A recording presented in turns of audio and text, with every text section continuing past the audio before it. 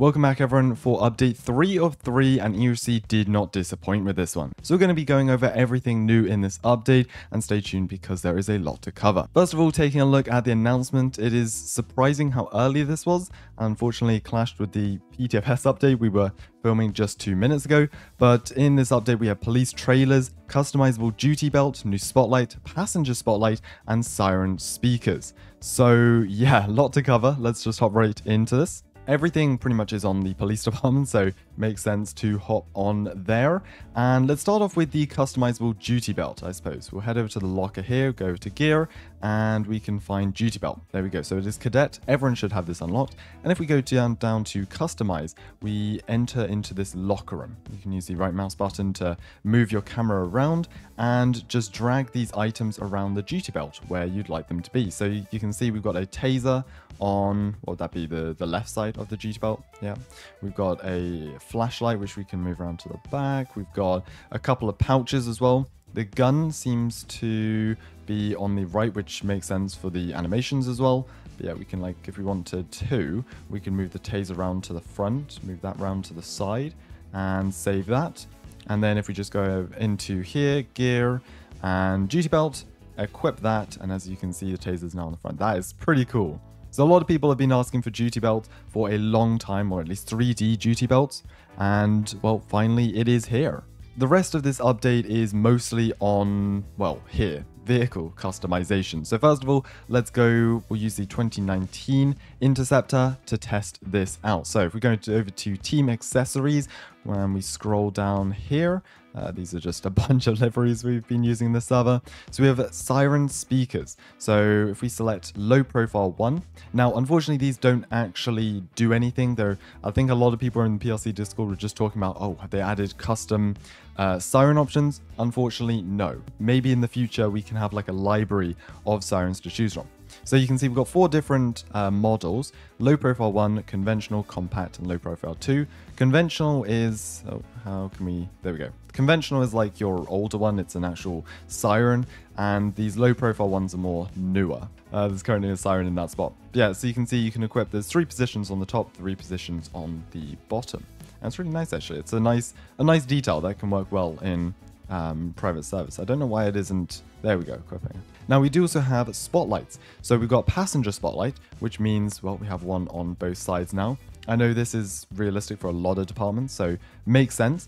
Um, and then you can also choose between having a halogen or LED spotlight. We haven't really been able to test if this makes too much of a difference, apart from just being, um, well, different. As you can see, it's got different texture. Um, maybe, yeah, maybe maybe one's brighter, maybe one lasts longer. I'm not entirely sure, but it would be cool if the halogen spotlight let off more of an orangish or yellowish light. Um, but yeah, that is pretty cool to see as well. And so you have two spotlights on your car. Now, of course, the main big thing with this update is trailers. So first of all, let's go and spawn in our um, 2019 utility. And we've now got this trailer spawn point right next to the vehicle spawn. Currently, there are two trailers. We've got the speed radar trailer, which was teased last night, and the equipment trailer. So we'll spawn in this speed radar trailer to test out first of all. There we go. Okay, so as you can see, it takes up a parking spot just beside our car there. And if we head over, we can unfold the sign and set a speed limit. So we can set that to 20, for example. And then when someone drives by, we'll set one of those up in a moment. Uh, your speed will show on the camera, or on the screen, sorry, which is really nice. And I think they've done really well with the model, actually. Uh, it's got the license plate on it, it's got wheels, well, yeah, because it's a trailer. I suppose that makes a lot of sense. Um, now, it does seem like some vehicles can tow and others can't. So if we reverse the 2019 up here, I'm curious to see if this will attach. Hold on, so if we attach, yeah, so no nearby vehicles are able to tow this. Well, thank you to Ollie for actually just informing me that you need to put a tow hook on your vehicle. So we're in the customization menu. Let's scroll down. Perfect. So as you can see, it's only on certain vehicles, but we can enable a trailer hitch, which attaches well, a hitch onto the back of your truck. We can go and then spawn this in, and we should then be able to tow our trailer. All right, let's back up here. We should be close enough there. Attach hitch. There we go. It is now attached. Um, I think you can probably drive with this up. Maybe? Yeah, okay, you can. And we have trailers in EOC. This was teased around a month ago, and finally we do have them in game, and I'm very, very excited to try this out. Yeah, so any car driving past, it will just show their their speed on this um, screen here. Right, let's go and detach that and uh, try out the equipment trailer as well.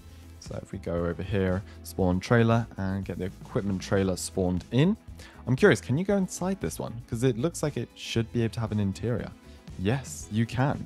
Unfortunately, it is empty, there is nothing inside of here. Also looks like the textures are a bit bugged, but still, that is really, really cool. Let's hop into our vehicle here, go and grab this, and we're going to try Ollie's speed trap that he set up. Right, I've forgotten where Postal 800 is, so let's take a look at our map. And, okay, over on Riverside. Right, let's give this a try. Speed past. This is so cool, though. Definitely ending Police Week on a high. Trailers. Oh, yeah, I wonder if you could flip these, actually. It looks like you could quite easily, to be very honest. So yeah, we should be able to see Ollie up here with his trailer setup. And I'm guessing your speed would flash up 93. Jeez, okay. Rocketing down the road. Good spot, actually. All the trailers do have brake lights, which is a nice addition as well. So yeah, that is really cool, actually. There's a button on the side. You can't use that to open it. No, never mind. That's probably an indicator. Yeah, that would make a lot of sense. Anyways, great way to end off Police Week. Um, yeah, trailers are in the game. Uh, no game passes or anything, as some people were fearing. So you can just go and spawn these in once uh, you have them unlocked. Duty belts as well. Great for realism. And uh, if you pull out your gun, well, I've got an M4A1, but yeah, if you have a pistol, then it's a lot more realistic, I suppose, and you don't have to grab your own UGC utility belt. Yeah, very happy with how this update turned out. Uh, I'll have the full devlogs linked in the description if you want to check that out but enjoy the rest of your police week.